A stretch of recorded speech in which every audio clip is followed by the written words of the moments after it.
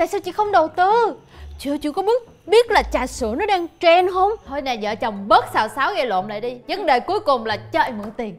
Mở quán trà sữa. Chị nói không là không. Em này.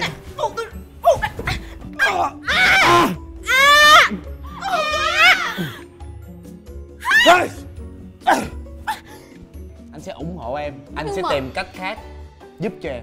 Hứa nha Thank you.